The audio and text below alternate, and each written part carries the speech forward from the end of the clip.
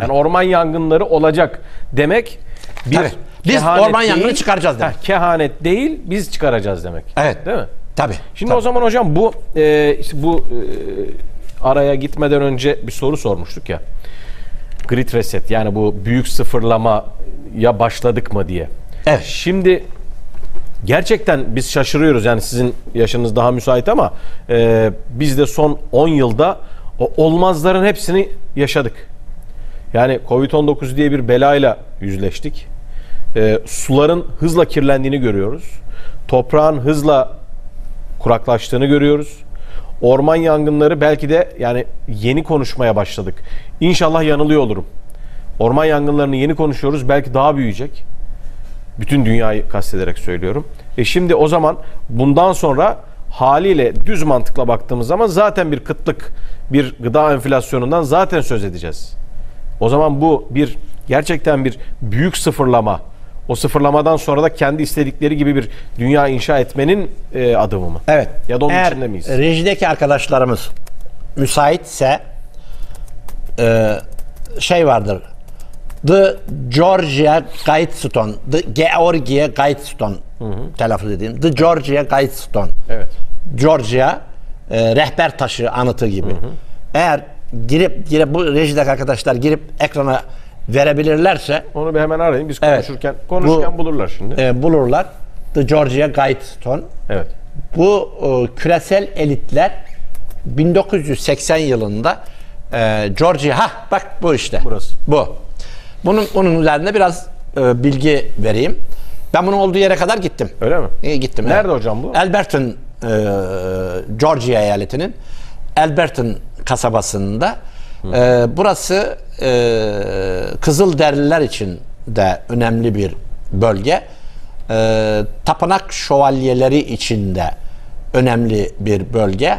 Bu altı devasa sütunun e, iki temel özelliği var. Bir, e, 12 dilde 8'i yaşayan dil, e, 4'ü ölü dil. Evet. Bu e, e, dilde tabi 12 12 İsrailoğulları kabilesine atıf mıdır? Muhtemelen. 12. Niye 12? Niye 12 değil mi? Evet. İki, burada 10 emir var. 10 emir Musa'nın 10 emri mi ona atıf mı? Muhtemelen. Ya adı da on emir. Evet 10 Tamam. emir. Birinci 10 emrin birincisi efendim dünya nüfusunu 500 milyona indirin diyorlar. Değerli kardeşim bugün baktığımızda önce toprağı öldürdüler. Buradan çiftçilikle uğraşan kardeşlerimize sesleniyorum. Toprağı en çok öldüren ot ot ilacı var ya ot ot ot ilacı. Ee, köylü o ot ilacını ku- kurutmak için ilaç atıyor çiftçi. Ama ertesi sene o ilaç ot daha da azgınlaşıyor. Çünkü önce toprağı kimyasallarla, gübrelerle, ilaçla öldürdüler. Benim üniversite yıllarında rahmetli babam pamuk arazimiz vardı Antalya'da. Serikle'de e, namussuz bir ilaç vardı. Tamoron diye. Bu ülkede dedete ilacı, bir dedete vardı. Evet, Belki bilirsiniz. evet, tabii. Dedete Amerika'da yasaklandıktan yanılmıyorsam 30 yıl sonra yasaklandı bu ülkede. Evet. Bu ülkede e, rahmetli babam Allah bin razı olsun cennet mekan olsun babacığım ve anacığıma e, biz ilkokuldayken e, süt tozu bu Marshall yardımı babından e, bize verirdi. E, biz de tabii çocuk okul müdür e, okul idaresi veriyor eve getiriyoruz. Tabii. Rahmetli anacığım ve babacığım babam dedi ki ben sağ olduğum müddetçe dedi evlatlarıma bunu yedirmem dedi. Ee, sonra e, aldı bizim elimizden e, bir sevimli bir köpeğimiz vardı. Köpeğe verdi babam köpek yemedi. Köpek yemedi. Çünkü o süt tozunda yapılan peynirler de bu bunlar e, böyle e, boşuna yardımlar falan Tabii. değildir. Nitekim e, çok canlı canlı, cap canlı bir örnek vereyim. Şirketin ismini vermeyeyim ama dünyanın en büyük gıda ve çikolata şirketlerinden birisi Amazon kıyılarında yaklaşık e, 1 milyon civarında yerli aileler oturuyor. Bu e, dev gıda çikolata şirketi bu Amazon nehrinde aşağı yukarı yukarı aşağı gidilir bir gemi satın alıyor, yaptırıyor. Oradan iki yıl boyunca giderken yolun sağındakilere ırmağın dönüşte yolun e, ırmağın solundakilere çikolata, tatlandırıcı bunlar atıyorlar. Bedava veriyorlar. İki yıl sonra bu insanlar aşırı derecede bunlara talebi patlıyor. Elbette artık parayla satılıyor.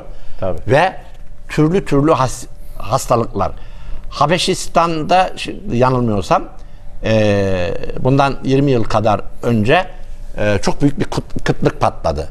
Bunun üzerine oraya eee GDO'suyla oynanmış buğday yardımı yaptı. İyiliksever batılı e, insanlar. Sevel görün, görünümlü. Tabii görünümlü Tabii, değil mi? tırnak içinde. Ee, ve orada e, açlıktan ölen, perişan olan, adeta kürdan gibi olan e, Habeşistanlılar e, daha sonra obez olmaya başladılar. Çünkü e, bu GDO'suyla oynanmış gıda e, artık bilmiyoruz ki zaten e, GDO'yu bulan e, hoca akademisyen buna kendisi Frankenstein diyor. Evet. Böyle bir e, yapı içinde bir taraftan toprağa sonra tohumla oynadılar. Sonra tohumla oynandıktan sonra GDO'suyla oynanmış, modifike edilmiş gıdalar ile açıkçası yıllarca da e, hastalıkların maalesef pek çok hekimimiz tarafından e, e, genetik olduğu e, pazarlandı. E, ama artık biliniyor ki genetik mühendislerinin yaptığı çalışmalarda hastalıkların onda dokuzu yeme ve içmeye bağlı. Yüzde biri ancak genetik e, yapıya sahip. Bir başka şey ee, 1970'li yıllarda hatta biraz daha erken Mustafa Bey kardeşim e, dünyada bir tartışma çıktı. Bu tartışma şuydu. Kolesterol tartışması. Evet. Kolesterolün e, yağa, yağa, yağının kolesterol yaptığını, kalp sağlığını bozduğunu vesaire vesaire Evet. diye anlattılar.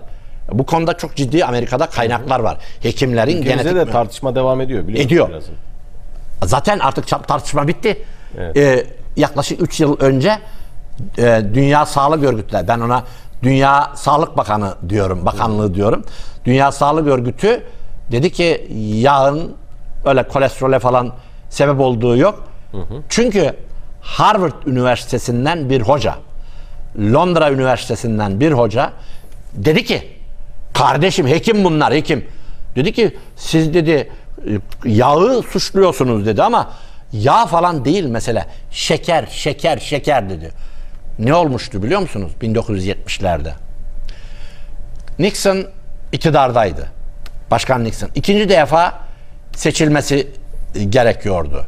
Ama o noktada Amerika'da fiyatlar Vietnam Harbi sebebiyle bir kısım ekonomik sıkıntılar vardı. Amerikan rüyası çalkalanıyordu. Kendi bir sınıf arkadaşına bu gıda sıkıntılarına bir çözüm bulmaları söylendi. O noktada da ise daha önce Japon bilim insanları tarafından keşfedilmiş olan e, bu e, mısır şurubu o zamana kadar tatlandırıcı olarak sanayide pek kullanılmıyordu. Evet. Mustafa Bey normal pancar şekeri, şeker kamışı yerine mısır şurubu şekerini piyasaya sürdüler. Maalesef. Bütün gıdalara bütün gıdalara bunları dayadılar. Bu mısır şurubu şekeri ve nişasta bazlı e, bu şekerler daha sonra marka vermeyelim.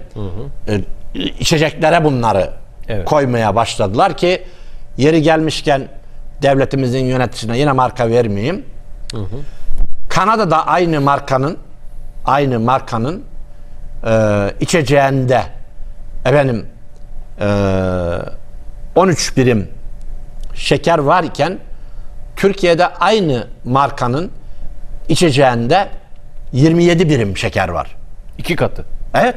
Hatta iki katından fazla. Evet. Çünkü küresel elitlerin bir kurgusu vardır. Önce İngilizcesini söyleyeyim sonra Türkçesini söyleyeceğim. Think global, act domestic. Yani küresel düşün, mahalli oyna.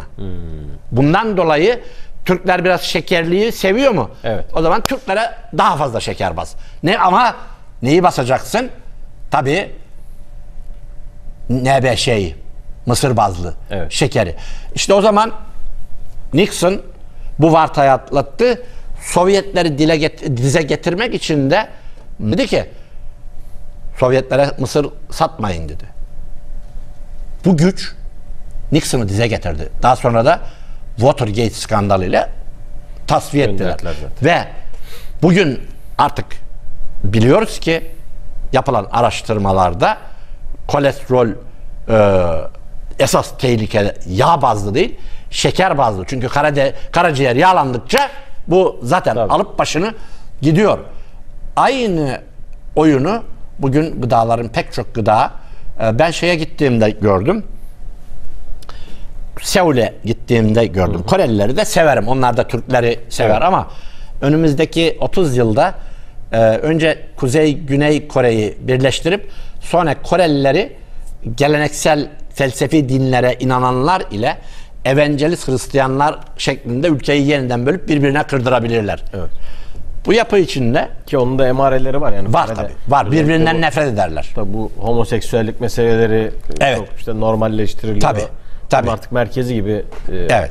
görünüyor. Ee? Koreliler şu besinleri çok tüketirler. Bir, soya. evet. Dünyada genetik modifikasyonu yüzde 98 tamamlanmış birkaç besin vardır. Bu bir tanesi soyadır. Ee, maalesef vegan, vejeteryan çocuklarımız da işte e, sebze yani e, ve vegan ve e, vejetaryen hamburger yediğini zannediyor ama bunlar ağırlıkla soya e, doludur ve son derece sağlıksız gıdalardır. E, soya, Dikkat etmek lazım. modern buğday e, artık tavuk bir fabrikasyon ürünüdür. Tık tık tık tık tık tık tık yani o tavuk zaten Churchill 1929'da diyor ki kardeşim bir but yiyeceğiz diyor koca bir tavuk besliyoruz diyor. Bir laboratuvarda niye geliştirmiyoruz bunu Churchill. E bugün artık laboratuvarda bunlar geliştiriliyor. Evet. Bir diğeri o bizim Anadolu'nun güzel mısırı, o Karadeniz'imizin güzel mısırı yok. Yerine işte o modifiye edilmiş Gedoğlu. mısır e, ile ben çok severdim ama artık 15 yıldır ağzıma bile almıyorum. E, bir e, bu yapılarda baktığımızda Koreli noodle modern buğdaydan Evet. onu çok severler. Pizzayı çok yerler. E, bizim gibi acıyı seven bir millettir Koreliler. E, hamburgeri çok yerler. Mesela K-pop diye bir müzik grubu vardır. Kız çocuğu gibi onlar. E, oğlan çocuğudur erkek çocuğu. Üçü de çok şaibeli bir şekilde intihar etti o Evet. e, müzik grubunun. Ve orada gördüğümde iki ay kadar önce de bir Amerikalı e, genetik profesörü hanımefendinin e, mesajı Türk medyasına da düştü. Gelişmiş ülkelerde gelişmiş ülkelerde 2045 yılında erkek spermi sıfırlanacak dedi. Yani 15 milyonun altına inecek dedi. 15 milyonun altı demek çocuk olmaması demektir. Daha fazla video izlemek için kanalımıza abone olabilir, ilk izleyen olmak isterseniz bildirimleri açabilirsiniz.